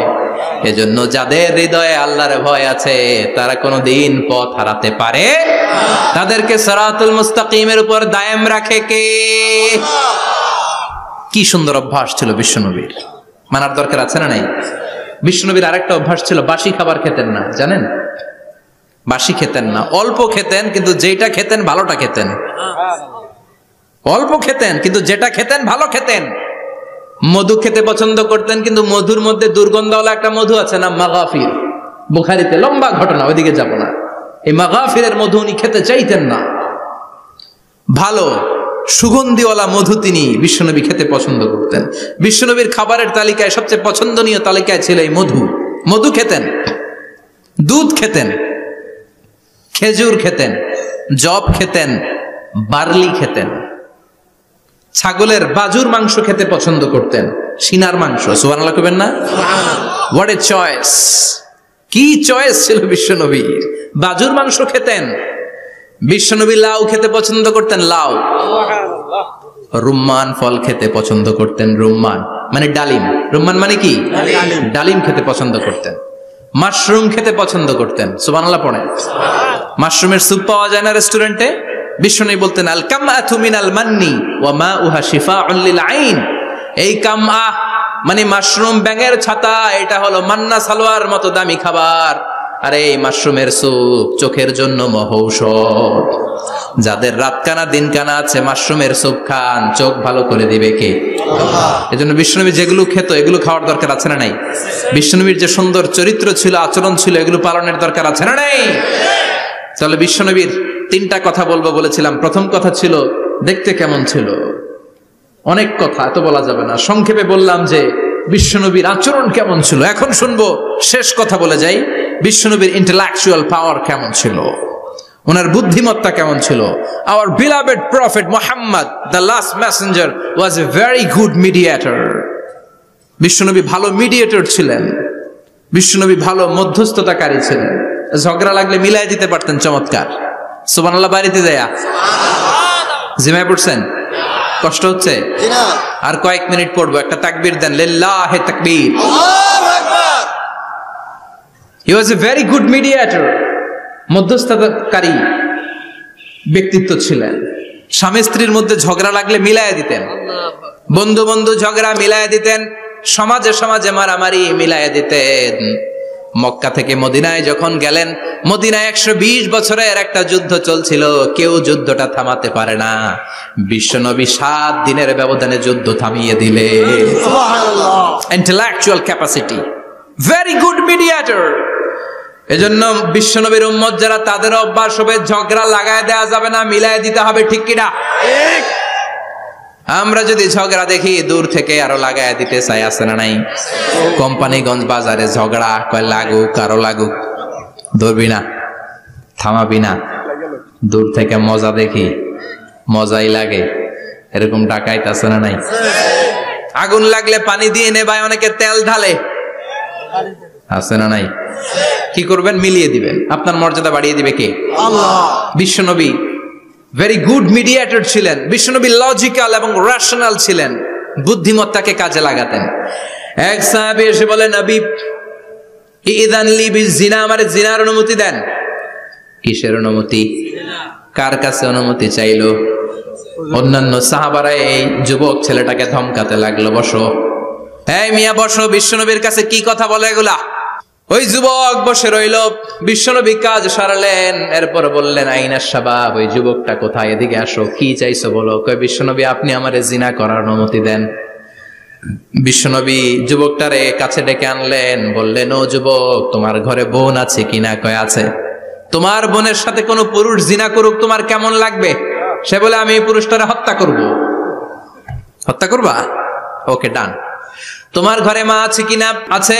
তোমার মায়ের সাথে পর পুরুষ জিনা করবে। কেমন লাগবে? আমি সাইজ করব ওরে। তোমার ঘরে স্ত্রী আছে কিনা আছে। তোমার স্ত্রীর সাথে যদি কেউ জিনা করে, কেমন লাগবে? বলে, আমি তারে ছাড়বো না। বিশ্বনবী বললেন, তাহলে যেই মহিলার সাথে তুমি জিনা করবা, সেও তো কারও বোন, সেও তো কারও স্ত্রী, সেও তো কারও মা, ঠিক কিনা সুবহান আল্লাহ হোয়াট অ্যান ইন্টেলেকচুয়াল ক্যাপাসিটি যুবক বলে, তাই তো এইভাবে তো ভাবি নাই। আমি যার সাথে পাপ কর্ম করব, সেও তো কারও বোন হবে, সেও তো কারও মা হবে, সেও তো কারও স্ত্রী হবে। ও নবী, আপনি আমারে মাফ করে দেন, আমার জন্য দোয়া করে দেন, যেন তাকওয়ার উপর জীবন প্রতিষ্ঠা করতে পারি। লজিক্যালি জিনিসকে সলভ করার চেষ্টা করতেন। ইবনে জবালকে বিশ্বনবী আলাইহি ইসলাম ইমাম বানিয়ে পাঠালেন। উনি ইমামতি করতে গেলেন এক মসজিদে। মাগরিবের সালাতে উনি লম্বা কেরাত ধরলেন। এশার নামাজ শুরু করলেন সুরা বাকারা দিয়ে। কোরআনের সবচেয়ে ছোট সুরা। হ্যাঁ? বড়? কত বড়? বিশাল বড়। এখন ওই এলাকার মুসল্লিরা ছিল কৃষক মুসল্লি। এক কৃষক মুসল্লি সাহাবি নামাজের পেছনে দাঁড়ালেন। দেখলেন বাকারা দিয়ে দৌড়ছে, কেরাত শেষ হয় না। আর দাঁড়িয়ে থাকতে পারে না। পায়ে ব্যথা করে, পিঠে ব্যথা করে। কিছুক্ষণ পর রেগে মেগে নামাজ ছেড়ে দিয়ে বারান্দায় নামাজ পড়ে বিশ্বনবীর কাছে বিচার দিতে গেলেন। যে বললেন, নবী এমন ইমাম পাঠাইছেন, এসা পরে বাকারা দিয়া। বিশ্বনবীকে সর্বনাশ মোয়াজ তো ভেজাল লাগাই ফেলতেছে। ডেকে পাঠালেন সাহি বুখারির বর্ণনা। বিশ্বনবী বললেন Muaz what you doing there কি করছ তুমি সেখানে? আফাচ্চানুন আনতা ইয়া মুআজ তুমি কি ফিতনা বাজাও নাকি? তুমি কি ফিতনা ছড়াচ্ছ নাকি? খেটে খাওয়া মানুষ, কৃষক মানুষ, মাঝারি সাইজের কত সুন্দর সূরা আছে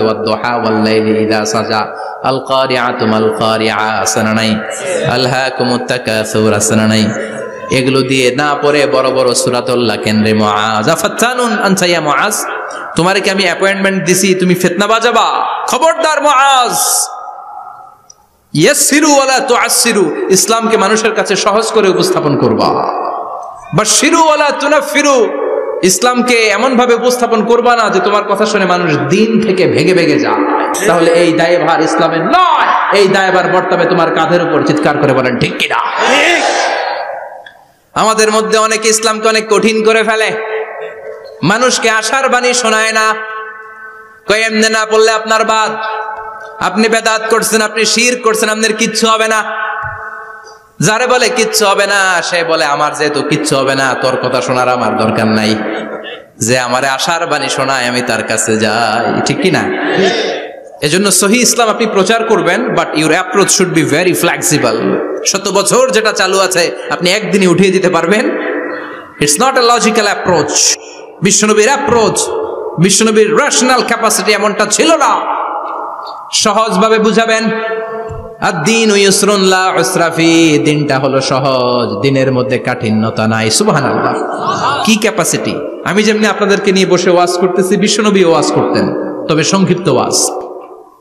আমরা আধা ঘণ্টা করে যদি রাখতে চাই হুজুর, আরও আধা ঘণ্টা করেন। তো আরও আধ ঘণ্টা করে যদি শেষ করতে চাই হুজুর, আর দশ মিনিট করেন। হুজুর, ওয়াজ অনেক টেস্ট লাগে হুজুর, নমাজ টেস্ট লাগে না। আচ্ছা না, নাই। ওয়াজ ভালো লাগে, নামাজ ভালো লাগে না, কিন্তু বিশ্বনবীর ওয়াজ ছিল সংক্ষিপ্ত। আর বিশ্বনবী বলতেন one of the minor sign before the day of judgement your lecture will be longer your সালাত উইল বি শর্টার কেমতের আগে তোমাদের লেকচার ইসলামী লেকচার লম্বা হবে, নামাজ হয়ে যাবে সংক্ষিপ্ত। এ আলামত সমাজে আছে না নাই? বিশ্বনবী সংক্ষিপ্ত কথা বলতেন, আর ওনার বুদ্ধিবৃত্তিক ক্যাপাসিটি কাজে লাগিয়ে তিনি বুঝাতেন। হাত দিয়ে ইঙ্গিত করতেন আঙ্গুলের বিভিন্ন ব্যবহার সমাজে আছে না নাই? এরকম করলে এটারা লাইক বলে না? এরকম করলে বলে ডিসলাইক আবার ক্রিকেট এরকম করলে কয় ছক্কা।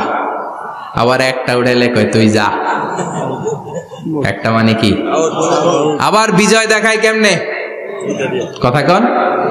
ভিক্টরি আছে না নাই? বিশ্বনবীও এটাকে মডার্ন টিচিং মেথডোলজি বলে। আধুনিক শিক্ষা পদ্ধতিতে এখন দেখবেন যে আগে ব্ল্যাক বোর্ডে লিখতো, এখন হোয়াইট বোর্ডে লিখে মার্কার দিয়ে। আগে বই থেকে বুঝাতো, এখন ভিজুয়ালাইজ করে। ভিডিও দেখিয়ে শেখানো হয়, ঠিক কি না?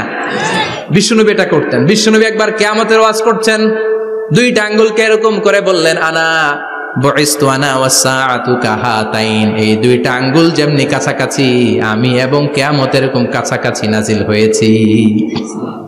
আমি এবং কেয়ামত এরকম কাছাকাছি। বয়স্তু আনা ওয়াসাআতু কাহাতাইন আবার বলতেন, আনা ওয়া কাফিলুল ইয়াতিমি কাহাতাইন আমি এবং ইয়াতিমের রক্ষণাবেক্ষণকারী এই দুইজন জান্নাত এরকম কাছাকাছি থাকব কোন সুহান আল্লাহ এরকম আঙ্গুল দিয়ে বিশ্বনবী বুঝাতে চাইতেন। আবার মাটির মধ্যে খেজুর গাছের ডালা দিয়ে লম্বা একটা দাগ টানলেন। ডানে বায়ে অনেকগুলো দাগ টানলেন। সাহাবারা বললেন, এটা কি? বিশ্বনী বললেন এই যে দাগটা দেখলা এই দাগটার নাম হলো সেরাতুল মুস্তাকিম। চিল্লায় বলেন এই দাগটার নাম কি? সিরাতাল মুস্তাকিম। আর ডানে বায়ে ছোট ছোট যে দাগগুলো দিলাম এগুলো হলো সুবুলুস শয়তান শয়তানের রাস্তা। সিরাতুল মুস্তাকিমে উঠলে শয়তানের রাস্তা থেকে অনেক হাতছানি আছে না নাই? ডানে বায়ে তাকানো যাবে না। সিরাতুল মুস্তাকিমে যে তুমি উঠেছ চলতে থাকে বা চলা শুরু হলো দুনিয়াতে শেষ হয়ে যাবে জান্নাতে। সুবহানাল্লাহ। বিশ্বনবী মাঝে মাঝে বোঝানোর জন্য প্রশ্ন করতেন। কারণ প্রশ্ন ছুড়ে দিলে মানুষের মধ্যে জানার আগ্রহ বাড়ে না কমে। কথা বলেন।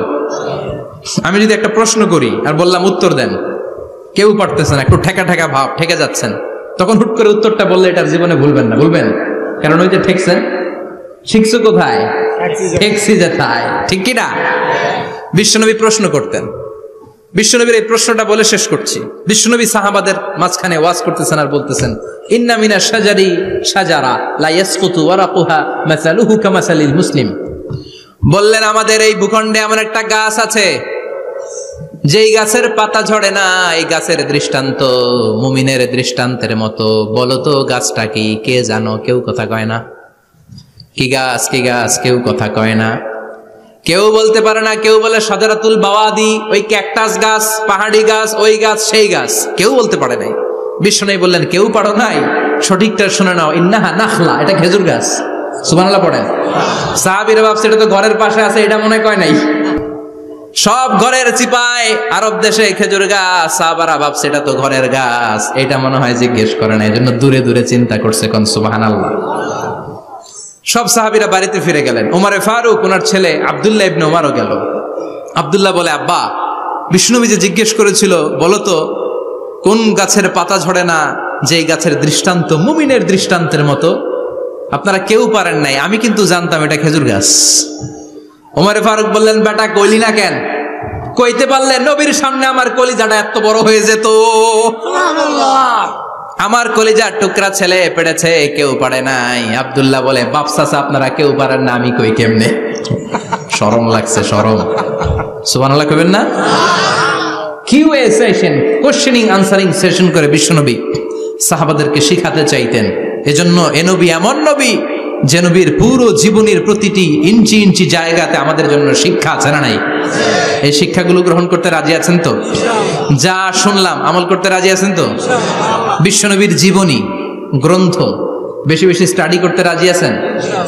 ইনশাল্লাহ দু চারজন কইছে খালি। সবাই রাজি আছেন তো ইনশাল্লাহ যাদের ঘরে বিশ্বনবীর কোনো জীবনী নাই, বাংলা অনেক জীবনী গ্রন্থ পাওয়া যায়। বিশ্বনবীর জীবনী হচ্ছে আমাদের জন্য মডেল ঠিক কিনা? এবং এই মডেল অনুযায়ী যদি আমাদের জীবনকে আমরা সাজাতে পারি জান্নাতকে জান্নাতের দুয়ারগুলো আমাদের জন্য খোলা রাখবে কে? আল্লাহ। আল্লাহ আমাদের সবাইকে কথাগুলো বুঝার ও আমল করার তৌফিক দান করুক আমরা পড়ি আমিন। আমিন। যতগুলো কথা বলেছি কোরআন সোনার আলোকে বলেছি বানিয়ে কিছু বলি নাই। তারপরেও আমার মনের অজান্তে কোনো মিস ইনফরমেশন যদি আমার মুখ ফসকে বেরিয়ে যায় সেগুলো যেন আল্লাহ তালা আপনাদের স্মৃতিপট থেকে মুছে দেয় আমরা পড়ি আমিন। আমিন। সত্য সুন্দর কল্যাণকর হকের পক্ষে যা বললাম তার সবটুকুন আল্লাহ তালা প্রথমে আমাকে এবং আপনাদের সবাইকে আমলের তৌফিক দান করে আমরা পড়ি আমিন। আপনারা সবাই ভালো থাকবেন সুস্থ থাকবেন সুন্দর থাকবেন কোরআনের সাথে থাকবেন। সুবহানাকাল্লাহুম্মা বিহামদিকা। আশহাদু আল্লা ইলাহা ইল্লা আনতা আস্তাগফিরুকা ওয়া আতুবু ইলাইক ইয়া রাব্বি লাকাল হামদু কামা ইয়ানবাগি লিজালালি ওয়াজহিকা ওয়া আযীমি সুলতানিক লাকাল হামদু বিল ঈমান লাকাল হামদু বিল কুরআন লাকাল হামদু বিল ইহসান রব্বানা যালামনা আনফুসানা ওয়া ইন লাম তাগফির লানা وترحمنا لنكونن من الخاسرين রব্বুল আলামিন গভীর রাত বিশ্ব নবীর জীবনী থেকে চমৎকার কিছু কথা শুনে আমরা তোমার দরবারে দুটি হাত পেতে দিলাম। আমাদের হাত দুইখানা তুমি কবুলার মঞ্জুর করে দাও। আমরা সবাই গুনাগার গুনামদের বেসুমার এমন কোনো গুনাহ নাই, আমরা করি নাই। রব্বুল আলামিন তোমার কাছে ক্ষমা চাই, আমাদের সবাইকে তুমি মাফ করে দাও। আব্বা, আম্মা, দাদা, দাদি, নানা, নানি, চাচা, চাচি, খালা, খালু, মামা, মামি পাড়া প্রতিবেশী দেশি কেশি সবাইকে মাফ করে দাও। আমাদের যত আত্মীয় স্বজন কবরের বাসিন্দা, প্রত্যেকের কবরগুলোর জান্নাতের বাগান বানিয়ে দাও।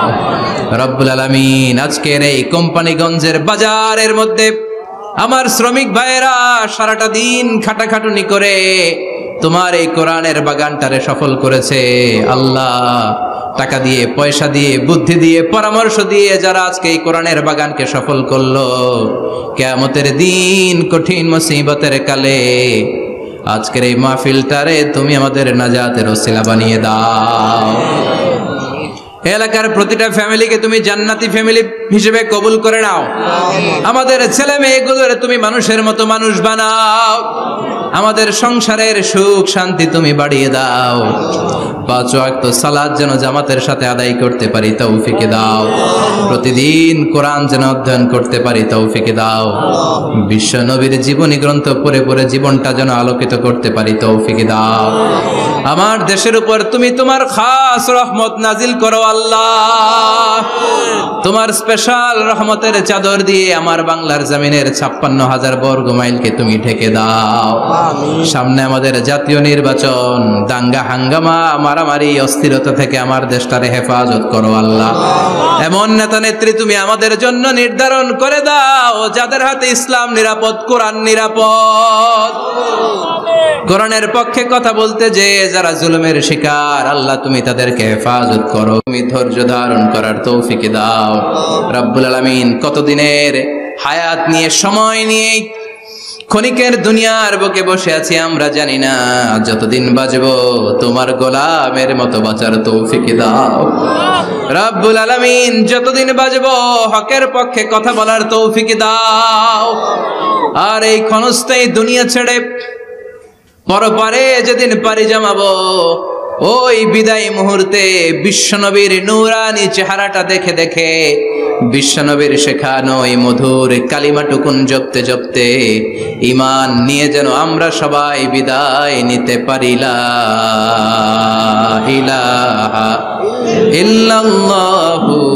মোহাম্মদুর রাসূলুল্লাহ।